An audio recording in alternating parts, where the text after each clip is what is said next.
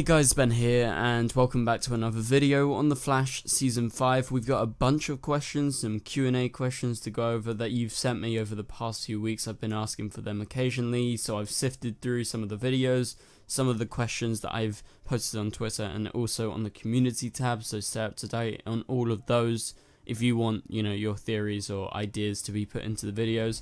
But also, I've gone back and looked at some of the concept art from Andy Poon, who is the concept designer for most of the Arrowverse stuff, and there is some unused concepts in terms of Barry's suits that I really want to talk about, and I'm going to link it into one of your questions. So if you do go on to enjoy the video, please be sure to leave a like and a comment, and subscribe if you're new so you don't miss any DC TV videos later this year.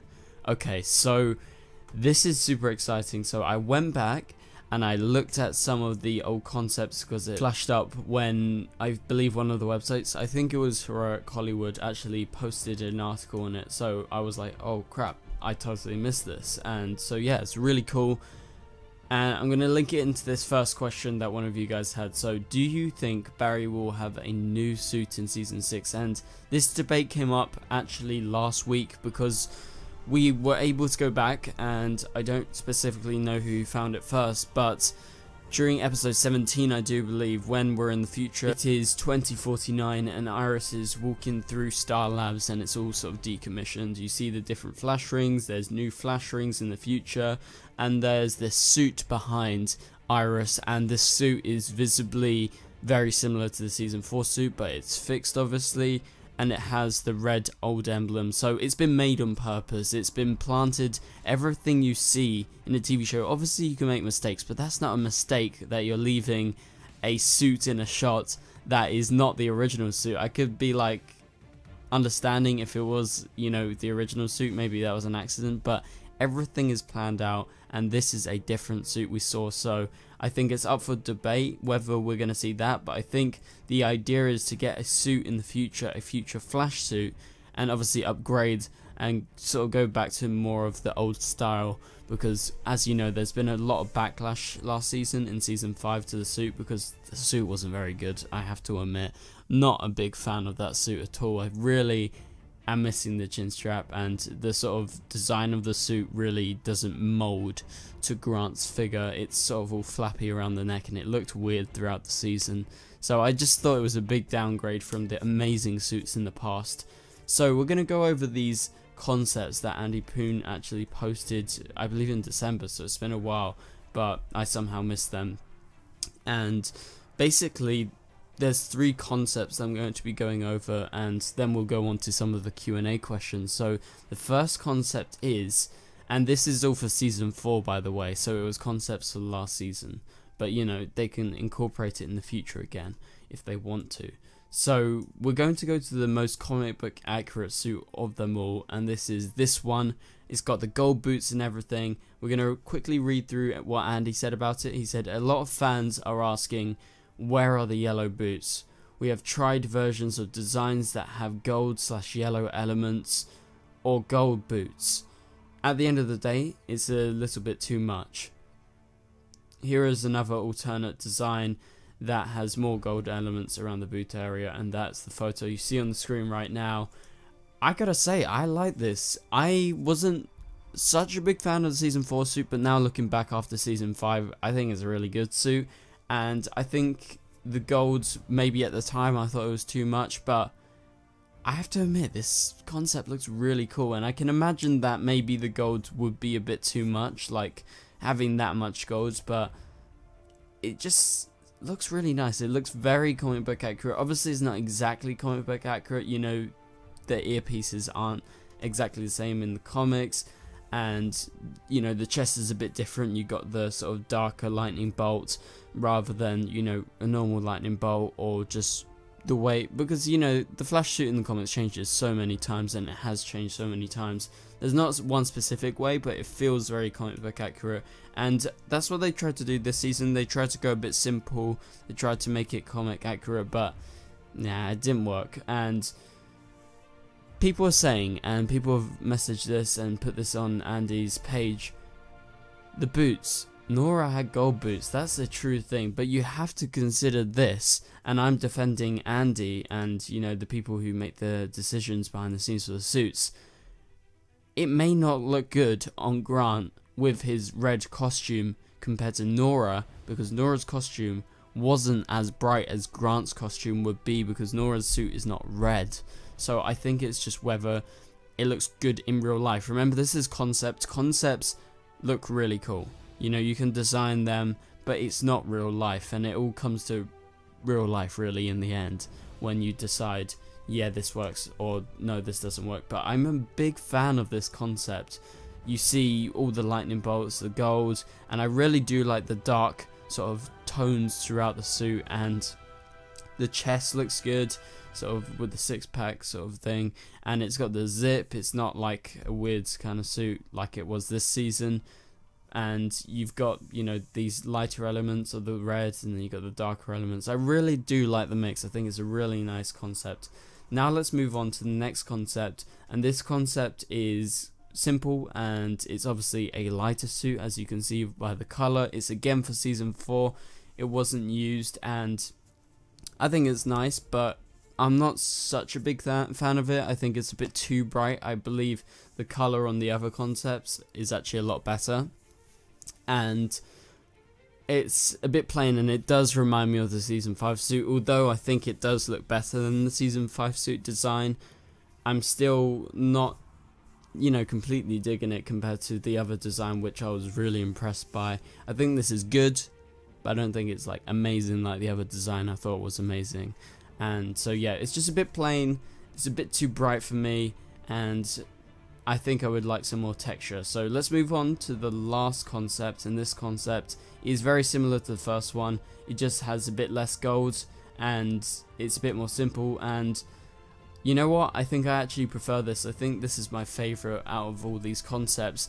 I like the gold in the other suit but like Andy said in his post maybe it might be a bit too much for you know live action and I could see this one really really working. So could this be a concept that they take or you know the schematics for it like the basis and carry it out into say season 6 suit? Because surely they got to get a new suit. Surely they've heard the criticism of the last suit that they got the new upgrade for season 5 so yeah I'm really hoping for something like this in the near future. Maybe this can be a future flash suit. I really really do dig it so let's move on past this and talk about some of these Q&A questions that we'll get to now. So this is the next question. If Barry vanishes in Crisis, how can Barry send the future message to the Legends from 2056? Well, the answer to that is that's pretty simple. Basically, the timeline change and all of these timeline changes have caused that timeline in 2056 to not exist basically. That is what you're supposed to infer. That was the Savitar timeline. That was you know before all the changes and especially now after these big changes recently. That timeline definitely doesn't exist. So if Barry does in fact vanish in Crisis it won't really matter because that message made it back from that specific timeline and that timeline is not our future. So that's the answer to that. So the next question is will there be a main villain at the start of the season? So this is very interesting and I've mentioned this a couple of times. I do believe Red Death is going to be the villain of this season. They teased him and you know he's a big thing right now in the comics because a lot of people really like him. I think he's great. And obviously there's the question of can they bring Batman in? How are they going to do it? How are they going to change it? Obviously if they bring him in, they're going to change it. It's not going to be Batman and you know the Flash molded together. Maybe it's the Flash molded with someone else from another Earth. I love that concept. I think that concept is brilliant. So, will there be a main villain at the start of the season? And I think there's not going to be a main villain for the most part. I reckon just before the finale, like the mid season finale, we're going to get the introduction of Red Death and then that's where it's going to happen. Maybe they tease it at the start, but I think the main problem with the past two villains that we've had, the Thinker and Cicada, is they got introduced in episode 1, their story was dragged on throughout the whole season. From episode 1 onwards, that is a massive no-no, and you can tell, you know, if you look at Rain, or you look at Zoom, or you look at Savitar, they work because they are built up to. There is anticipation, and week to week you're excited to find out who the main villain is. And I think the main problem was probably dragging it on way too long. Get an interesting story, bring them a bit later. You don't have to drag them on throughout the whole season. You know, Cicada could have been defeated in, you know, two episodes or three episodes, but you know, he just flew away every time, and she flew away every time at the end. And same thing goes for the Thinker. It's just there wasn't a good villain arc, and there was nothing to do basically. So I believe that Red Death or whoever the main villain turns out to be will come at about the mid-season and also they said they're focusing on Crisis. You know, the Flash people didn't specifically say that. Stephen Amell said that, who plays obviously Green Arrow and Oliver, but there is obviously an emphasis on Crisis in the first part of these seasons because, you know, all of the endings for the Arrowverse shows teased Crisis, so you can naturally infer that that's going to happen. You know, there's going to be an emphasis on Crisis at the start. So the next question is, will Barry actually disappear in Crisis? So this is a good question, and the blatant and plain answer is no, he's not going to vanish. He's not going to disappear. They're going to change the timeline as Nora predicted or Nora tried to do. And maybe it's Nora coming back, Nora helps him out or something. But what they're going to do in Crisis is stop Crisis. Maybe he vanishes for like an episode in the crossover or something like that. Then they have the iconic fight where they go back in time. Maybe that's in the Flash episode. I would love that. And everyone thinks, oh shit, Barry's vanished. And Iris is like, oh my god, it's actually come true. But then he returns and because of the timeline changes he returns. He's all fine. I reckon that's probably what's going to happen. He's not going to go missing. Maybe he goes missing for one or two episodes but i would say that's about it. But you know oliver's most likely going to die. Oliver's made a deal with the monitor. And you know barry he, he's the main character of the show. There is no way you can do that. They couldn't even put barry away for one episode during the season 4 premiere when he was supposed to be away stuck in the Speed Force. So, yeah, he's not really going anywhere, and I think he shouldn't go anywhere. Maybe for a few episodes, but then you get the exploration of him going back in time with Reverse Flash, fighting it out, see where that version of Barry actually went. And so the final question, moving on from that, is do you think Red Death could be Oliver Queen? From another Earth. So I've seen this brought up a couple of times because, you know, like I mentioned prior, Red Death in the comics is a mixture, it's a sort of molding of two characters. There is Batman and Barry Allen. Batman is from the Dark Multiverse, he's from Earth minus 52, and he actually knocks out Barry, chains him up to the Batmobile, they go into the Speed Force, and he gets Speed Force powers. So Bruce is in control, this dark version of Bruce, and Barry is in his subconscious, and that's basically what makes Red Death. It's a mixture of Batman and the Flash, and he's bad, and he's part of the Dark Nights: Metal. So that is what you know the concept for Red Death is. So I think the concept's brilliant. Obviously they can't do Batman. not expecting Batman. I reckon it would be amazing if they could do Oliver Queen as Red Death, but more likely than not, that's not going to happen because the reason Stephen is stopping Arrow, the reason they are actually finishing Arrow with next season is due to Stephen because he's done it for this many years and he thinks, you know, they can wrap it up and end it at a good point. So the likelihood of him returning for a major role that would be Red Death as a villain is slim to none. Like, barely nothing. But I think the idea of having a different character molded with a version of the Flash, not our version of the Flash, but you know maybe one from another Earth. It doesn't have to be Barry. It could be Wally. It could be Jay. It could be a totally new species. It could be the Accelerated Man.